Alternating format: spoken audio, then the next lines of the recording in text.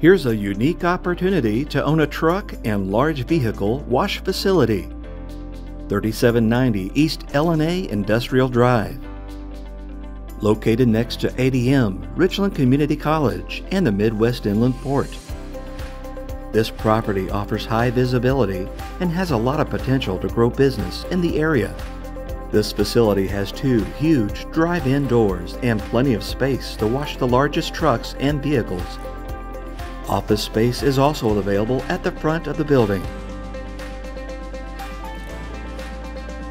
You'll find plenty of paved parking around the property. Located in the Enterprise Zone, this property has much to offer.